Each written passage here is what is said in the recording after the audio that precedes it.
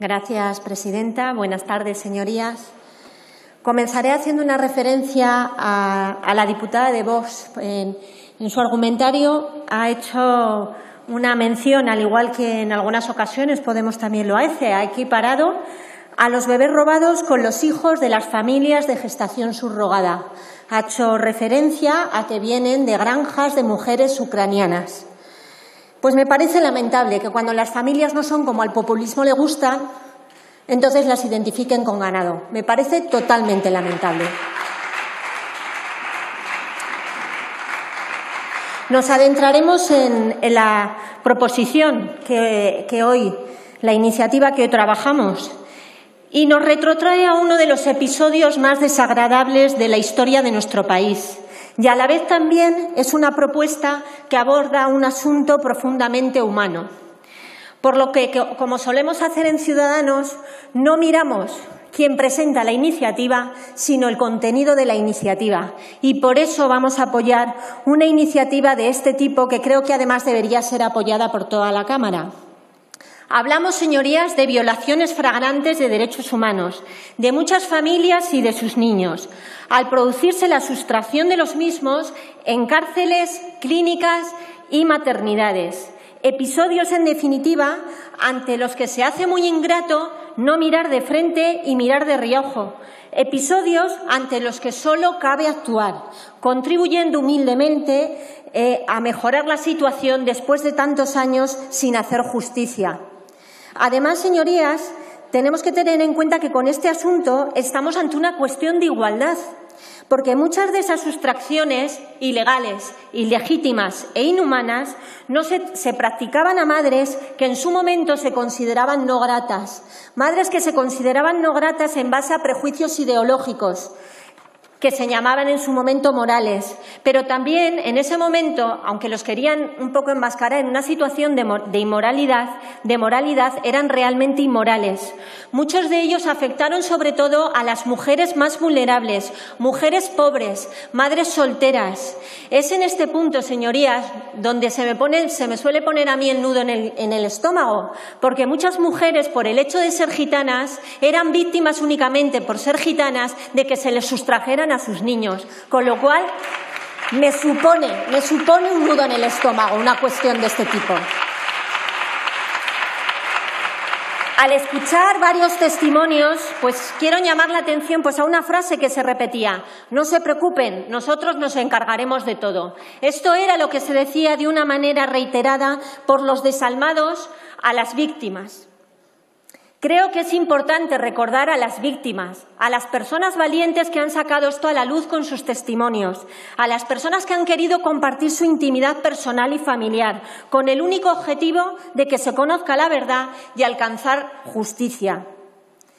Quiero dar gracias igualmente a todas esas familias que se han enfrentado a la complejidad de la burocracia de los procesos, a las dificultades que te digan el no por el falta de prueba, a la falta de colaboración que en ocasiones han recibido de hospitales y clínicas. Creo que aquí sí que merecen un especial reconocimiento todas esas familias.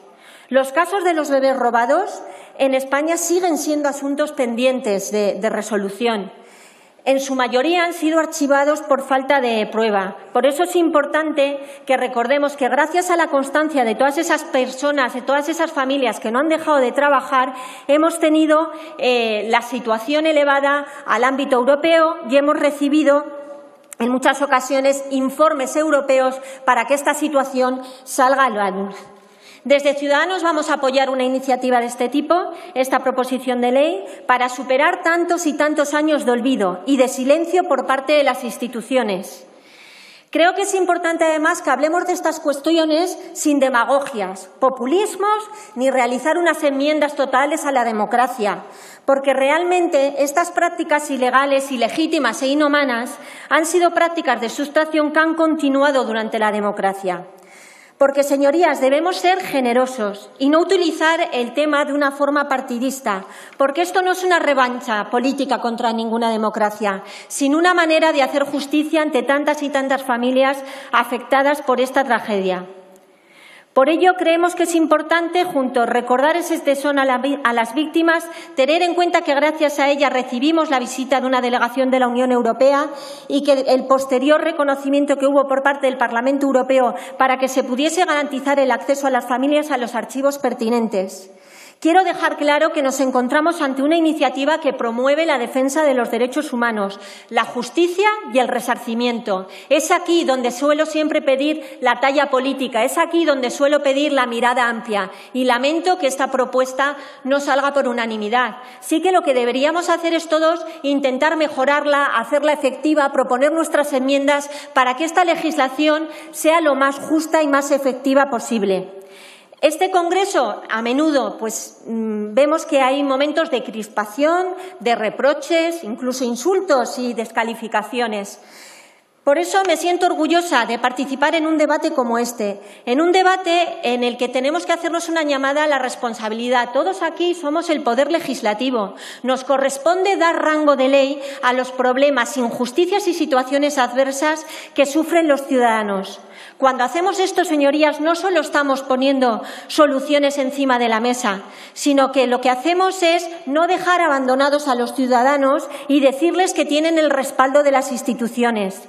Por eso es importante que no dejemos de lado a las víctimas. Con legislaciones como esta contribuimos además a ayudar a que se dejen de estigmatizar situaciones como la que hoy vamos a trabajar.